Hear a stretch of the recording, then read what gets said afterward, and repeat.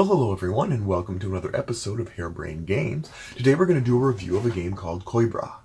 Coimbra is a game based on the city of Portugal that is a thriving hotbed of education and merchantry and happiness. And uh, anyway, if you look back through the history, it's a pretty interesting history of the city and the various ways that it has survived and overcome uh, quite a few invasions and just uh, cultural transitions and stuff. And remains definitely uh, quite the historical uh, hotbed of different like eras of progress. In this game which is two to four players you're going to vie to be the most influential person in Coimbra.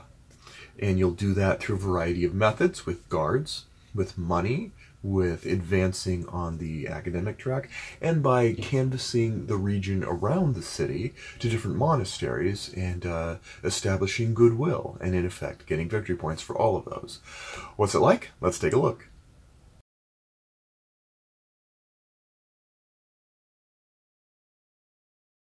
Okay, first we have the manual. The manual is very richly detailed and it's very sequential and orderly. You'll know what to do and when to do it, which makes it very easy to look up information. Then we have a panorama of the actual board setup for the two-player match we're going to try. You'll notice all the different areas of the board. These are the voyages that people can take each of the turns on four turns in the game. We have the board itself. We have the uh, advancement track for the academia, four different tracks that players will go up on.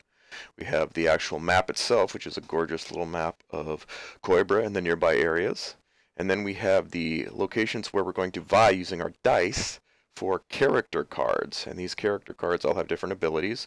Each row, you're going to be placing dice, and on that row, the four cards corresponding will be what you are vying for. Whoever has the highest number dice goes first, and then sequentially lower and lower to pick out which of the best cards suits them each of these having a different special ability as noted above. As we sweep out, we go to the each player having their own little card tableau. In it, you have the three castles, which will hold the three dice. We have guards, and we have money tracks. We also have special circular cylinder, cylinders, which will be placed on the map and on voyages both uh, to signify ownership or visitation rights. And that's generally it. The dice themselves are multicolored because there is a dual fold purpose to the dice. The numbers are used to define order when you're going for the cards, but then the colors are used for the special bonuses that you'll receive at the end of each round. Okay, first off, the first player is going to roll the dice. This is a pivotal time in a young man's life. All right, we have our selection of seven dice. That will be what we are able to use for the first of the four rounds of play. Now, the yellow player being the first goes on to the st second step. That step is to choose the dice. And the dice will be chosen based on player order. And yellow's first, red second. So he chooses his three dice castles and begins to decide where he's going to place his tile on any of those four areas. Now this top row is all special benefits the uh, castle tile will provide for free. So no one has to pay for any of these special abilities. This, for example, is two victory points and three movements on that uh, map. There are ones that give just free resources, ones that help you with voyages, etc. Now the second row is different cards. This will give you different special abilities on the bottom as well as the ability to run up the corresponding colored track over on the map, which we'll see. Uh, some of them have sp more special abilities and are a little less straightforward, but the manual is very good about placing um, descriptions for each card. Uh, down this row, you have two coins and two move to move your your your single citizen two spaces. This one uh, is a special one that only gives you points at the end of the game. So you choose that one not for what it does for you now, but for later. You'll get points based on how far up the orange track you are. And finally, this one is one that says for every two you spend of the guards, you can get a victory point, as much as many as you can afford. Finally, down here we have just some pretty basic abilities to be able to choose from, each on a different row. For example, this, as many gray cubes as you choose during the E phase, which is upcoming, you will get two victory points. So now we decide, we need to use our our mind to decide where we're going to place the cubes. Obviously the higher higher pipped uh, dice will cost more, but we'll let you choose first. And we chose there. Now red, she's going to choose one of the dice to place in order on one of the four locations. Uh, mm, yeah, the white dice is a wild card. That one has advantages later that we will see. Uh, but for now, she's choosing to put it there on the bottom row in the hope she can get a card that's worthy of her cost. Again, yellow chooses. Purple, a mid-range priced purple, which he will then, yep, he will place it in line for the third row. Back to back to our red player. She has another choice to make with the colors left. Gray. Gray 4. Maybe not. If she really wants some cash, she would choose the orange, because that would help her with the cash track. Nope, she's going to stick with gray. And she's going to choose a castle action. So at some point she will get something for free up there. And finally, yellow is going to take and probably choose the cheapest option. Yeah, the cheapest option, green die, and take a risk that there'll be a good card left after everyone else is solved. On that one I should have flip-flopped and put that in front of the other two. And red's last action is to choose between orange 6 or gray 5. Hmm. Yep, orange 6. That will give her... Oh, and she's going to get to choose first on the victory track. All right, now we go to plan C, or phase C. Phase C is an interesting one because then now you're going to pull all your dice off. You just added them to those rows, and now you're going to pull them off, but you get to activate their abilities when you do. Now one thing I'm noticing as I'm playing through here is that there was a very important step that I missed in the first phase, and I'm going to cover that before I go any farther. Okay, now one thing I missed is at the start of the game, players have to do one of two things. First off, they need to put their sojourner, their traveler, on one of the four quadrants of the main castle, or main city Coimbra. And second off, they get two starter cards um, from a set of two sets, or four sets of two, that they choose from that give them special abilities to kind of bump up or, or route them a different way as they play. This card says that during the C phase I pay less for guards. On the other side, red has two instant action cards uh, that bump her spaces up the up the track, two tracks, corresponding yellow and purple tracks, and give her a little extra boost. So with that done, we're going to head back and uh, continue to play our game again as if I didn't mess up. Anyway, so first off, uh, this goes uh, smallest to largest on the top, which is opposite of the rest of the board, which goes from left to right, highest to lowest in pip. So red, it doesn't really matter, is going to be able to take two of those top tiles, uh, her choice. This is a special one which cheapens the voyages, that or the cost of the voyages if she chooses to embark on one. She could right now embark on one, an extra one, but she chooses not to. Next, uh, she has another chance with the six orange die, and she's probably going to go ahead and take that, which will give her a couple crowns. It'll give her two free victory points, and she'll be able to move up to three spaces on the map. How does that work? Let's go. So she, on her starter card, was able to move one space for free, so that's why she's starting up there. Now she has three spaces to move. She moves to that first space, into there, and she places a disc to show that she's visited, and she gets the special benefit. Now this one, instead of being an instant action, means that wherever she goes to any other place and visits, she gets a free victory point. She's going to go to the other place right now, place a, a, a coin, and she gets a victory point because of that last place she visited. This is a great one because she can move up one on every single track. Very cool. Who doesn't love traveling? And that is the end of her first and second actions. Now we're going to go into the card row. First up is yellow, with his orange 4. So he's going to get to pick any of those that he wants that he feels are most advantageous for him to accomplish goals and earn victory points. He's going to choose, yep, he's going to choose the orange card. He's going to place it over in his instant action pile. He's going to move himself up two spaces on the orange track. And he's going to also get four coins, which will help him with purchasing power later. Now, the the uh, dummy dice all go through and they take the largest influential card to the left uh, if there's a tie. So he's going to take that three, and he's also going to take out that three. So that leaves yellow with really only one choice, but it is an inexpensive choice. He's going to choose to take that. He has no choice. Well, he could. He could also just take two free guards, two free money as a as a back out kind of thing for your dice, but that's really not optimal. You want to find ways to use your cards if you can. And uh, we did forget to pay for that last one.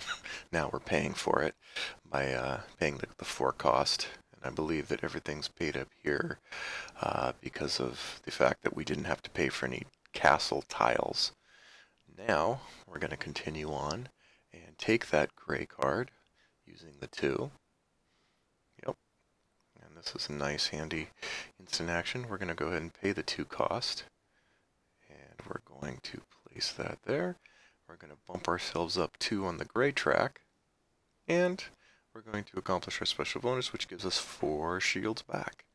All right, and that is the end of that row. Notice that we could have, if we buy a shield one, remember that we pay one less. We clear out that second row and then begin the third row.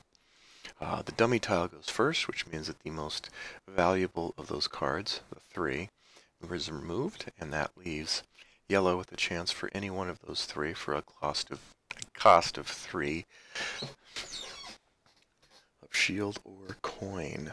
He's going to go ahead and go with the coin because he likes that. At the end of the game, if he can get himself boosted up on the orange track, he's going to get some victory points, a nice chunk. So his, his focus is going to want to be moving that up on the victory track on the yellow.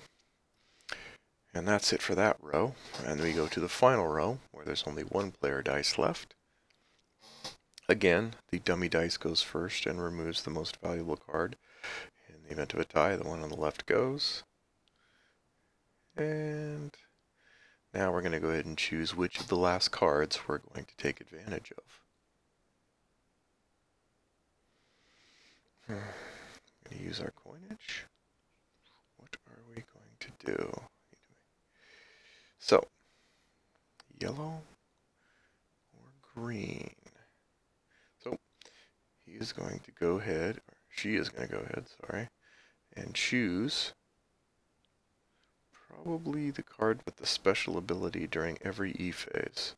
That would be kind of cool, especially since this is the first round, which means it would be useful for three rounds, so this isn't a bad time to use that. So he will choose, she will choose to do that.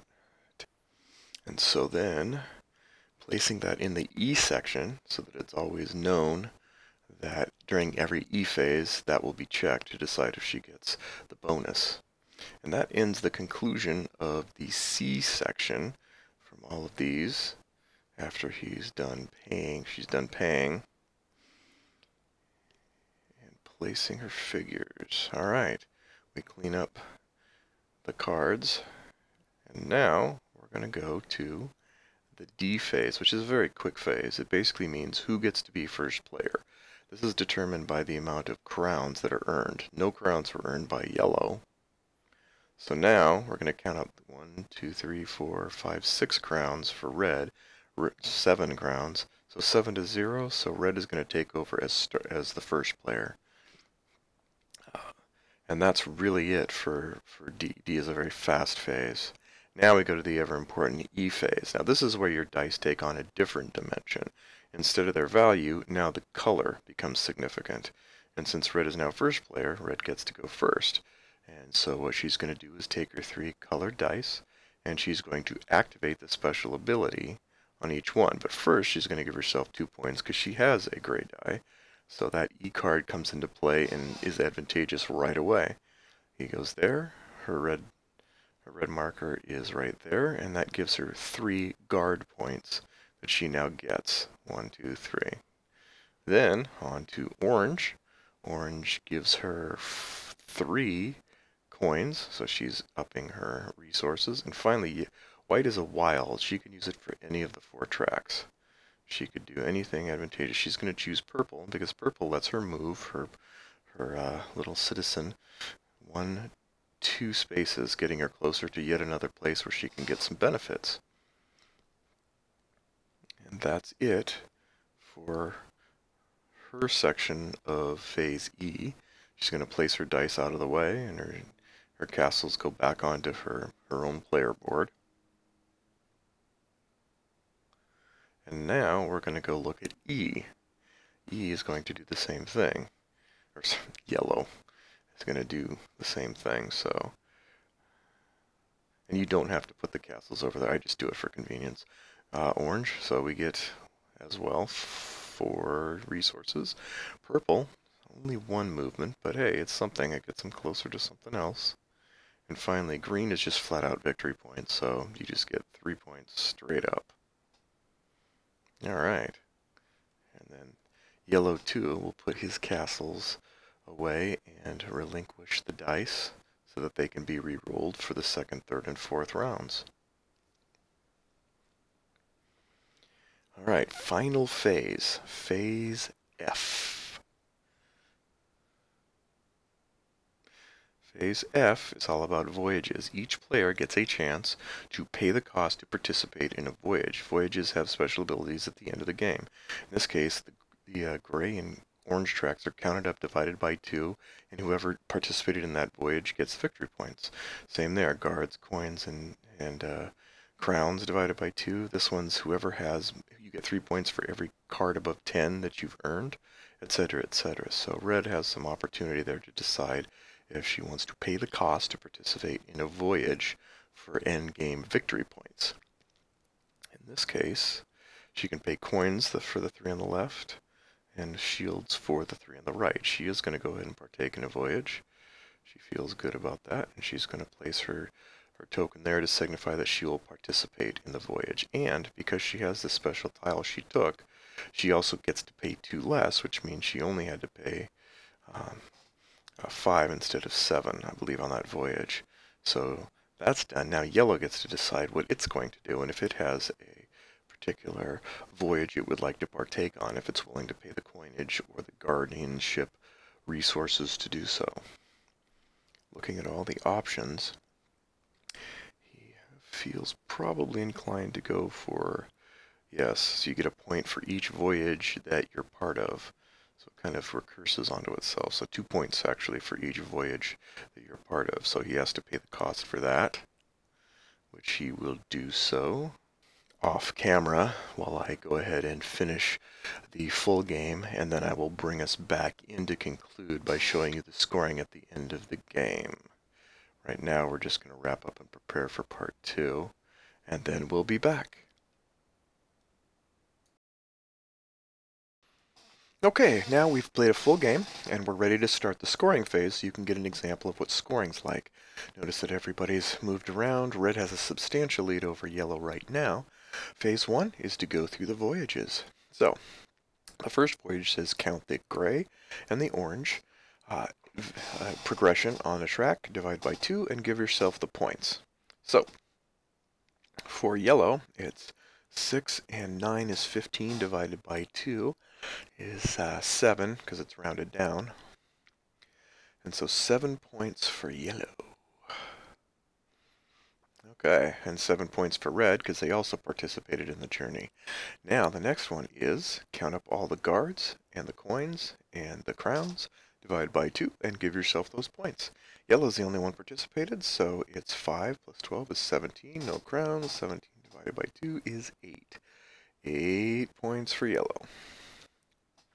Now, the next one is each card past 10 is worth 3 points. So how many cards does yellow have?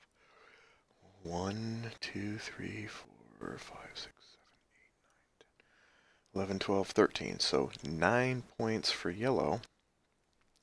Takes his first lead. Alright. Next we have the voyage that says you get a point for every single voyage you are on.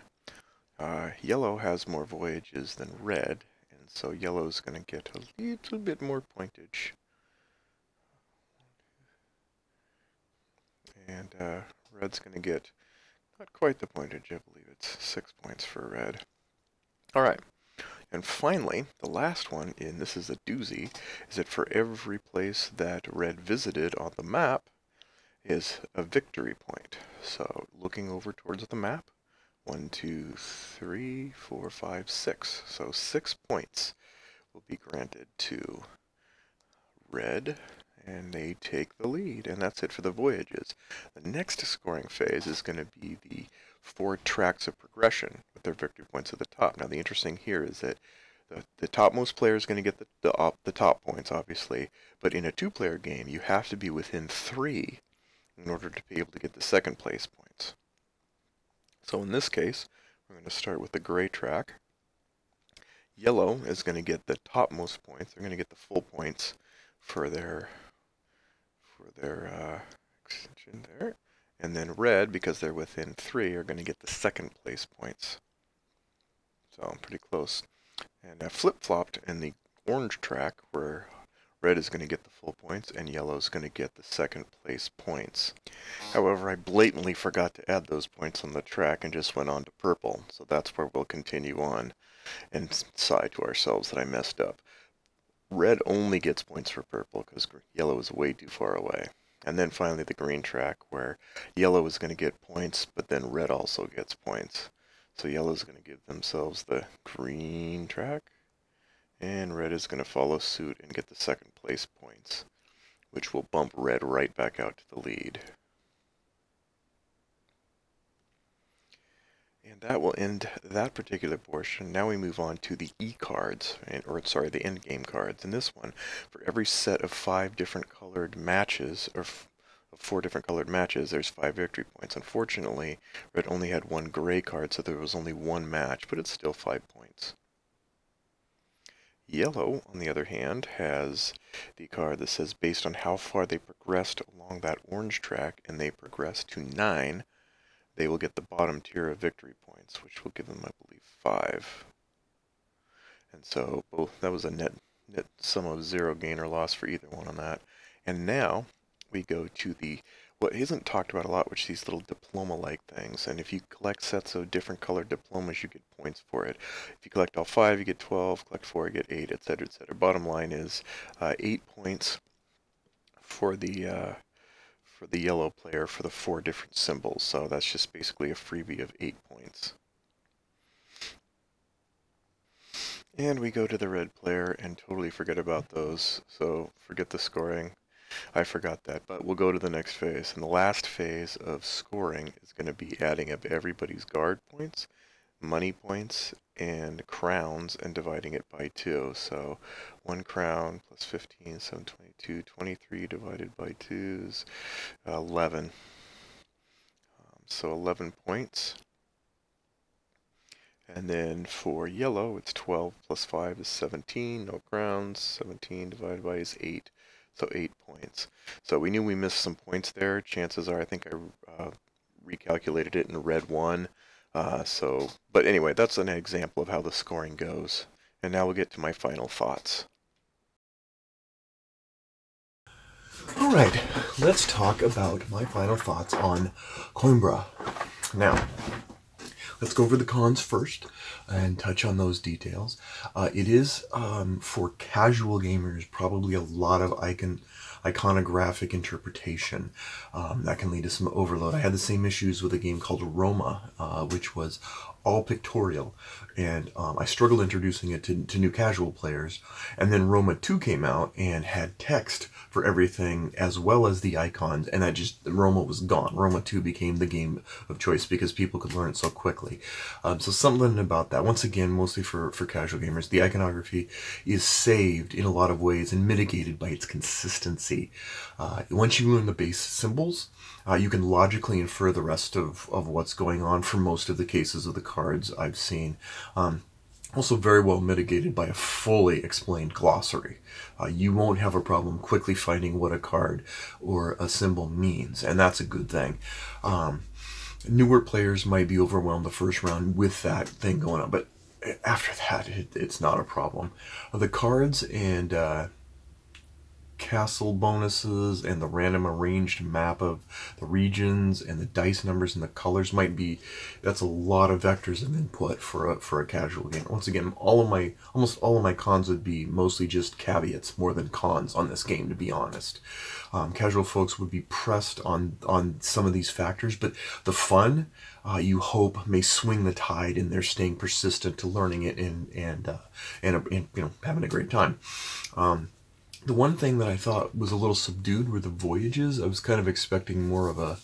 Uh, they're really just end game conditions, and they're not really masked very well. They didn't feel like voyages to me. I think it might have been cooler to me to have some sort of uh, con- conflicting, uh, even if it's just I take a voyage, you can't, or if I take the f- voyage first, you don't get as much benefit in the second, something like that. Sort of like they did with the tracks, where I could feel like, hey, I did a voyage, and because I, I, I funded it first, I'm going to get a benefit. I didn't feel that. Um, that's the cons that I have, and uh, as you can tell, they're they're really minor caveats at best. Now let's get into the pros and the things I do like about Coimbra. Um, the Coimbra game and everything about it is just charm that is oozing from the entire life cycle of this prod of this game. It's got a disarming, inviting box art. It has a board map that looks like something out of a whimsical Nintendo game. Uh, its card art is inviting and lighthearted. Uh, dice place, uh, di- yeah, the dice with dice. How do you make them lighthearted? Um, but I did really enjoy the charming visuals that really brought me into the game world and, and made it interesting for me. Um, the dice placement itself isn't really a mentally burdensome. You're like, hey, the numbers matter here, the colors matter here. But the risk reward of it certainly is because you're taking a lot of time to, to think about the double decision you have to make. Uh, I want to activate this track and get this benefit, but do I want to, you know, is it am I going to pay more in trying to get cards over here, colors over there? Um, there's a solid player scaling system, I think, with the dice, with the uh, the dummy dice that go on there, so that you do realize that you won't get first, second, or third pick if you choose fourth. You'll know that ahead of the time. There's no there's no hidden information in that regard. It still wouldn't be my favorite with two players. I think three would be a little more contention and maybe maybe bring alive a, a, a few more elements of contention that might add some a little excitement. Um, it's highly predictable and so you you see once the dice are rolled you can you can map out a lot of what's going on. You'll see everything that could transpire that round. And that's kind of a nice thing to be able to hang your hat on. I like that it uh, the mutual funneling of results into subsystems uh, the dice feed into the cards and bonuses the advancement track feeds into more gold and guards to pay for the cards um, that end up giving you the purchase power to do cards and voyages. It works so smoothly that it doesn't feel like there are any towering walls to overcome to feel the beneficial beneficial impact of your actions. Everything you do that's going to give you a benefit is just right nearby, and I like that. Um, the various resources are tuned to not feel too starved too often. You're not, oh my gosh, I can never get another guy out here. Agricola, looking at you. Um, you. You do feel like if you balance it right, there is a way to get resources enough to be able to do interesting things and not feel constantly starved of, of possibilities. Um, this is not a game of what can't you do. Uh, for the most part, more than it's a game of what's the most beneficial thing I can do right now with my dice on this board. It's almost sort of like the common question we get today of what brings me joy. Um, anyway, that's that's it for the cons. Now let's get to my final thoughts. And my final thoughts are that Coimbra reminds me very much of a company I call Blizzard, which happened to be a you know, quintessential company that doesn't do massive innovation, it does massive pollination as in polishing other people's innovation to a degree that it makes the sum of what it does substantially more entertaining and and and and awesome to be honest than their parts whether it's diablo warcraft world of warcraft it's not any they don't take formulas and make something brand new and innovative and crazy and that's where this this the uh, the, real benefit of the slides. The, the rolling dice and having it be worth that gimmick, you know, that gimmick, but that innovation is not even remotely innovative enough to keep a game going. I wouldn't have bought it just because it has dice that let you do that. Um, it's the fact that everything works together so smoothly, seamlessly. You feel, you know, if you've heard of death by a thousand cuts, consider joy by a thousand level ups, where every little thing you do is just going to level you up a little bit here, get you to the next detente of interesting things and bonuses that you get, of just a joy. Um, the emergent, it's sort of like the progression track reminds me of Gaia Project, where you have that the emerging victory point paths and the sets, a little bit like Seven Wonders, kind of. Um, you have dice placement reminiscent to like Kingsburg, maybe with a, you know with a little extra gimmicky. You have that monastery map that really reminds me of kind of a branching Tokaido, where everywhere you go is friendly and advantageous. It's just a matter of how optimally you want to take that advantage to its farthest degree. Card selection kind of reminds me a little bit of Dynasties, an old game. Anyway, at its heart, it's quite a simple placement game. That should not be taken away. If you strip away the charm and stared at Coimbra's underbelly, and you would have a pure, almost direct actions beget points system. The beauty here is that the there's a breadth of opportunities to get victory points. There's not a depth of opportunity. Contrast this with another game that I'm playing at the same called Teotihuacan, which has multiple layers deep of ways that you imbue actions. Those actions trigger other possible actions. Those actions can do other things and mess with the board. And then finally, at the end of that trail, you find out how it could it could jockey you into a position for points. There's none of that here. It's I put this down which means that I'm going to get this many victory points for this thing. And that's okay. That's exactly what I'm looking for and what I'm liking about this game. Is that I could really introduce it to people that I couldn't introduce a whole host of other games of its like to before because of it. And I like it. I feel very immersed with it. I feel like you get really interesting choices. The time frame of the game is right. Um, you know, you like I said, you strip it away, you stare at its underbelly, it's just a simple system. But you don't strip it away, and you don't want to look at its underbelly any more than you want to sneak behind Disneyland and lose the magic. You know, you, want to immerse yourself in it, and you want to know that every chance, everything you do, every choice you have is a chance to rejoice at how much farther you've progressed. So highly, highly recommend this game to anyone who, who loves a, a, a basic, simple, but very well polished worker placement game. So Coimbra for the win. Thanks, and we'll see you next time on Hair Brained Games.